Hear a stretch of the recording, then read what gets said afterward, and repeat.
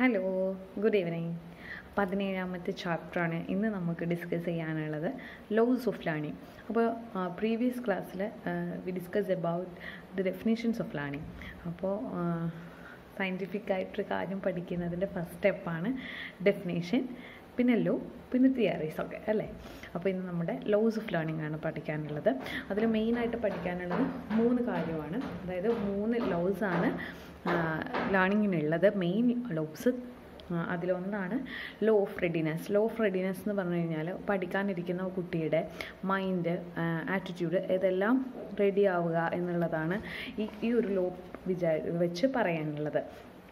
കാരണം നമ്മൾ ഒരു കുട്ടി ആ ഒരു കുട്ടിയുടെ റെഡിനെസ്സിനെ ഇൻവൈറ്റ് ചെയ്തിട്ട് വേണം നമ്മളൊരു പുതിയ കാര്യം ആളെ പഠിപ്പിക്കാനായിട്ട് അല്ലാതെ മനസ്സ് ശരിയല്ലാതെ അല്ലെങ്കിൽ എന്തെങ്കിലും ഫിസിക്കൽ അല്ലെങ്കിൽ മെൻ്റൽ ഇഷ്യൂസ് ഒക്കെ ഉള്ളവരോട് നമ്മൾ എത്ര കാര്യം എത്ര ഇരുന്ന് പറഞ്ഞു കൊടുത്താലും നമ്മൾക്ക് ആ ഐഡിയ കൺവേ ചെയ്യാനായിട്ട് ബുദ്ധിമുട്ടാണ് അതുകൊണ്ട് നമ്മൾ ആ അവരുടെ റെഡിനെസ്സിനെയാണ് നമ്മൾ ആദ്യം സീക്ക് ചെയ്യേണ്ടത് അത് തന്നെയാണ് ഒരു തരത്തിൽ അറ്റൻഷൻ സീക്കിങ് എന്നൊക്കെ നമ്മൾ പറയാറുള്ളത് അപ്പോൾ mental preparation for the understanding of new things, diverting his attention towards the subject, altering the environments suited to the learning. ഇതൊക്കെ ഈ ഒരു ലോയുടെ അണ്ടറിൽ വരുന്ന കാര്യങ്ങളാണ് okay this readiness create a desire for learning ultimately അതാണ് നമ്മുടെ എയിം ഈ ഒരു ലോ ഓഫ് റെഡിനെസ് കൊണ്ട് ഉദ്ദേശിക്കുന്നത് അൾട്ടിമേറ്റ്ലി നമുക്ക് ഡിസയർ ഫോർ ലേണിംഗ് ഇനി പഠിക്കാനുള്ള ഒരു ആഗ്രഹം അല്ലെങ്കിൽ ഒരു ഡിസയർ ഈ വിദ്യാർത്ഥിയുടെ ഉള്ളിൽ ഉണ്ടാക്കിയെടുക്കുക എന്നുള്ളതാണ് ഈ ലോ പറയുന്നത് ഓക്കെ അപ്പോൾ സോ ഫസ്റ്റ് ലോ ആണ് ലോ ഓഫ് റെഡിനെസ് ആ വേർഡിൽ തന്നെയുണ്ട് ആളെ റെഡിയാക്കി എടുക്കുക എന്നുള്ളതാണ് അതിൻ്റെ അർത്ഥം പഠിക്കാനുള്ള മനസ്സും ശരീരവും ആ ഒരു റെഡിനെസ് പോയിന്റിലേക്ക് കൊണ്ടുവരിക ഓക്കെ നെക്സ്റ്റ് ആണ് law of exercise law of exercise എന്ന് പറഞ്ഞാൽ നമുക്കറിയാം അത് ലോ ഓഫ് യൂസ് ആൻഡ് ഡിസ്യൂസിന് ഏകദേശം സെയിം ആയിട്ടുള്ള ഒരു ലോ ആണ് അതായത് നമ്മൾ യൂസ് ചെയ്തുകൊണ്ടിരിക്കുവാണെങ്കിൽ അത് നമ്മളുടെ മനസ്സിൽ പതിഞ്ഞിരിക്കും അതല്ല നമ്മൾ ഒരിക്കൽ പഠിച്ചു എന്ന് വിചാരിച്ച് ഡിസ്യൂസ് ചെയ്ത് അല്ലെങ്കിൽ അത് യൂസ് ചെയ്യാതിരുന്നു കഴിഞ്ഞാൽ അത് പതിയെ നമ്മുടെ മെമ്മറിയിൽ നിന്ന് മാഞ്ഞു പോകും ഈ ഒരു തിയറിയെ ഓർമ്മിപ്പിക്കുന്നതാണ് ഈ രണ്ടാമത്തെ തിയറി ലോ ഓഫ് എക്സസൈസ് അപ്പോൾ വീണ്ടും വീണ്ടും എത്ര നമ്മൾ റിവൈസ് ചെയ്യുന്നു എത്ര നമ്മൾ ട്രെയിൻ ചെയ്യുന്നു അത്രയും നമ്മൾ ആ ഒരു കാര്യത്തിൽ പെർഫെക്റ്റ് ആയിരിക്കും എന്നുള്ളതാണ് ഈ ഒരു തിയറി പറയുന്നത് ഓക്കെ അപ്പോൾ ലോ ഓഫ് എക്സസൈസ് ആ പേരിൽ തന്നെയുണ്ട് വീണ്ടും വീണ്ടും ആ ഒരു കാര്യം നമ്മൾ എത്രത്തോളം എക്സസൈസ് ചെയ്യാൻ പറ്റുമോ അതുതന്നെയാണ് അതിൽ ഏറ്റവും ബെറ്ററായിട്ട് നമുക്ക് കീപ്പ് ചെയ്യാൻ പറ്റുന്നത് മൂന്നാമത്തെ ലോ ആണ് law of effect law of effect എന്ന് പറയുന്നത് the effect of learning in answering to the question as a success or failure of learning uh, has very significant bearing on the law now the under study അതായത് നമ്മൾ പഠിച്ചൊരു കാര്യം വീണ്ടും exercise ചെയ്തു അത് എഫക്റ്റിൽ കൊണ്ടുവരാൻ പറ്റുക എന്നുള്ളതാണ് ഈ ഒരു തിയറി പറയുന്നത് ഇപ്പോൾ നമ്മൾ പഠിച്ചൊരു കാര്യത്തെപ്പറ്റി ഒരു ക്വസ്റ്റ്യൻ ചോദിച്ചാൽ നമ്മൾ അതിന് കേപ്പബിൾ ആയിരിക്കണം അതിന് ആൻസർ ചെയ്യാനായിട്ട് അതാണ് എഫക്റ്റ് കൊണ്ടുവരിക എന്നുള്ളതാണ് ഈ ഒരു തിയറി കൊണ്ട് നമുക്ക് പറയാനുള്ളത് അപ്പോൾ നമ്മൾ സാറ്റിസ്ഫൈ ആണ് അല്ലെങ്കിൽ അങ്ങനെ ഒരു ചോദ്യം ചോദിക്കൂ എന്തെങ്കിലും എക്സാമിനേഷൻസോ ടെസ്റ്റുകളോ നടന്നാൽ നമ്മളതിൽ സാറ്റിസ്ഫൈഡ് ആണ് അല്ലെങ്കിൽ സക്സസ് ആണെങ്കിൽ അതൊക്കെ അതല്ല എങ്കിൽ നമ്മളുടെ ലാണിങ് ശരിയായില്ല എന്നുള്ളതാണ് അതിൻ്റെ അർത്ഥം ഓക്കെ അപ്പോൾ സക്സസ് അല്ലെങ്കിൽ റിവോർഡൊക്കെയാണ് നമ്മൾ അത് നേടിയോ എന്നുള്ളതിൻ്റെ കണക്കും അതല്ല ഫെയിലിയർ ഡിസാറ്റിസ്ഫാക്ഷൻ പണിഷ്മെൻ്റ് ഇതൊക്കെ കിട്ടിയില്ല അല്ലെങ്കിൽ നടന്നില്ല ലേണിംഗ് കറക്റ്റ് അല്ല എന്നുള്ളതിൻ്റെ സൂചനകളാണ് ഓക്കെ ഇതാണ് ഈ മൂന്ന് ലോസാണ് മെയിനായിട്ടുള്ളത് കുറേ സബോർഡിനേറ്റ് ലോസ് കൂടിയുണ്ട് അതുകൂടി ഈ ഒരു ചാപ്റ്ററിൽ നിങ്ങൾക്ക് പഠിക്കാനുണ്ട് അതൊരു വലിയ കാര്യമല്ല ഒന്നാമത്തേതാണ് മൾട്ടിപ്പിൾ റെസ്പോൺസ് മൾട്ടിപ്പിൾ റെസ്പോൺസ് എന്ന് പറഞ്ഞു കഴിഞ്ഞാൽ ഒരാൾക്ക് മുന്നിൽ ഒരു പ്രോബ്ലം വന്നു കഴിഞ്ഞാൽ അയാൾ അയാളുടെ ഇന്നർ ടെൻഡൻസീസും അതുവരെ പഠിച്ചു വെച്ച കാര്യങ്ങളും ഒക്കെ വെച്ചിട്ടാണ് അത് ആൻസർ ചെയ്യാനായിട്ട് ശ്രമിക്കുക അല്ലെങ്കിൽ ആ ഒരു പ്രോബ്ലം സോൾവ് ചെയ്യാനായിട്ട് ശ്രമിക്കുക അല്ലേ അപ്പോൾ നമ്മൾ മൾട്ടി തരത്തിൽ മൾട്ടിപ്പിൾ ചോയ്സസ് എടുത്തിട്ട് നമ്മളത് സോൾവ് ചെയ്യാനായിട്ട് ശ്രമിക്കും അതിനെയാണ് നമ്മൾ മൾട്ടിപ്പിൾ റെസ്പോൺസസ് നമ്മൾ ഇട്ട് നോക്കും ഏതാണ് കറക്റ്റ് എന്നുള്ള രീതിക്ക് അതാണ് ഈ ഒരു തിയറി പറയുന്നത് മൾട്ടിപ്പിൾ റെസ്പോൺസ് എന്ന് ഉദ്ദേശിക്കുന്നത് ട്രയൽ ആൻഡ് എറർ മെത്തേഡ് ഒക്കെ ഇതുമായിട്ട് കണക്ട് ചെയ്ത് വരുന്നതാണ് പല പ്രാവശ്യം ട്രൈ ചെയ്യുന്നു അപ്പോഴാണ് പല പല റെസ്പോൺസസ് ആണ് നമ്മൾ ഇടുന്നത് അതാണ് ഈ ഒരു തിയറിയിൽ പറയുന്നത് രണ്ടാമത്തതാണ് സെറ്റ് ഓർ ആറ്റിറ്റ്യൂഡ് അപ്പോൾ നമ്മൾ നമ്മുടെ കൾച്ചറും ഓരോരുത്തർ വളർന്ന വന്ന സാഹചര്യങ്ങളും ഒക്കെ ഇതിന് വളരെ ഫാക്ടറാണ് നമ്മളൊക്കെ അറിയാം ഇപ്പോൾ ഒരു ദൈവത്തിൻ്റെ വിഗ്രഹം കണ്ടാൽ ഹിന്ദൂസ് അവർ ജസ്റ്റ് തല ഇങ്ങനെ കുനിച്ചിട്ട് പോകും മുസ്ലിംസ് പ്രത്യേകിച്ച് അവർക്ക് മാറ്റമൊന്നുമില്ല കാരണം അവരുടെ മതത്തിൽ അങ്ങനെ ഒരു സിസ്റ്റം ഇല്ല അപ്പോൾ നമ്മൾ വളർന്നു വന്ന സാഹചര്യവും കൾച്ചറും ആറ്റിറ്റ്യൂഡും മൈൻഡ് സെറ്റും ഒക്കെ നമ്മളുടെ ഫാക്ടറാണ് നമ്മുടെ ലേണിങ്ങിനും ആ ഒരു സിസ്റ്റത്തിനും ഒക്കെ നമ്മുടെ കൾച്ചറെല്ലാം ഒരു വലിയ ഫാക്ടറാണ് അതാണ്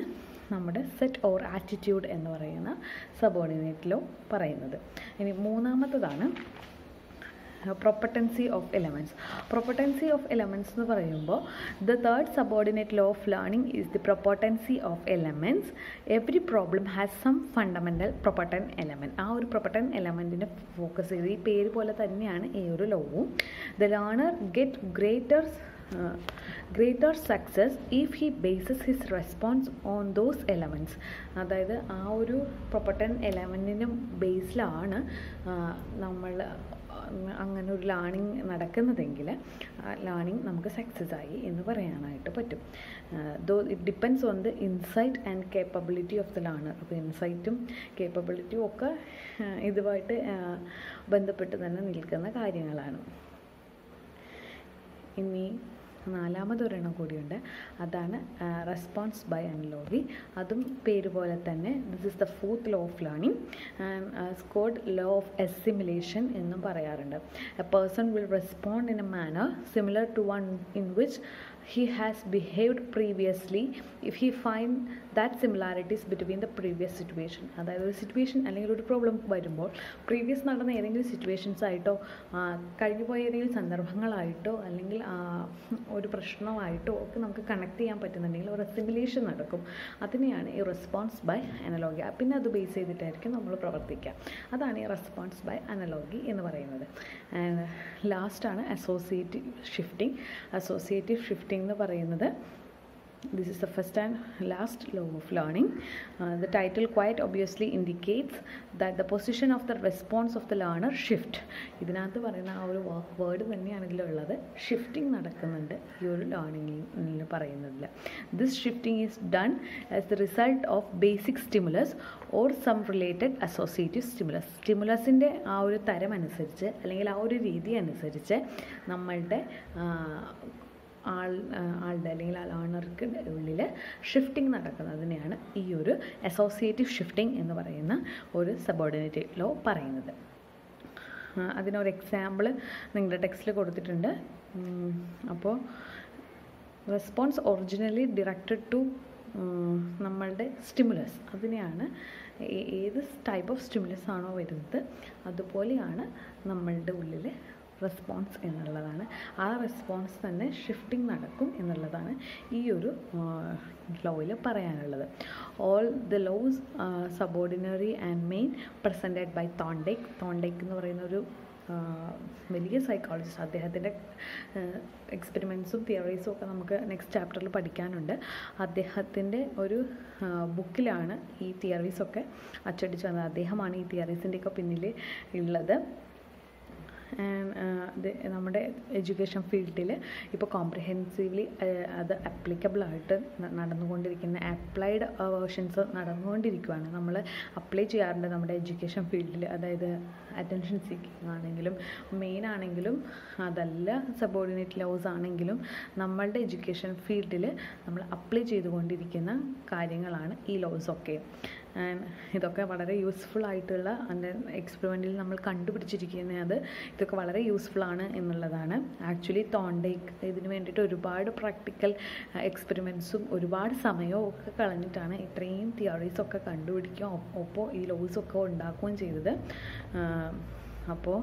ഈ ലോസൊക്കെയാണ് നിങ്ങളുടെ ചാപ്റ്ററിൽ uh, ഈ ഒരു ചാപ്റ്ററിലുള്ളത് കൂടുതലായിട്ട് ഒന്നുമില്ല ഇതൊരു ജസ്റ്റ് കണക്ഷൻ ക്വസ്റ്റ്യൻസ് കയറി വരാമെന്നല്ലാതെ ഡയറക്ടർ ക്വസ്റ്റ്യൻ ആയിട്ടുള്ള ഒരു പോർഷനൊന്നുമല്ല പക്ഷേ ദിസ് ഇസ് ഇമ്പോർട്ടൻറ്റ് ഒരു ഇമ്പോർട്ടൻ്റ് ആയിട്ടുള്ള കാര്യമാണ് കാരണം ലേണിംഗ് എന്നുള്ളത് ഒരു വാസ്റ്റ് ഏരിയ ആണ് അതിലൊരു വലിയ ഒരു മെയിൻ പോർഷനാണ് ഈ ഒരു തിയറീസ് എന്ന് പറയുന്നത് മെയിൻ തിയറീസ് ഒരിക്കലും ഒഴിവാക്കരുത് താങ്ക്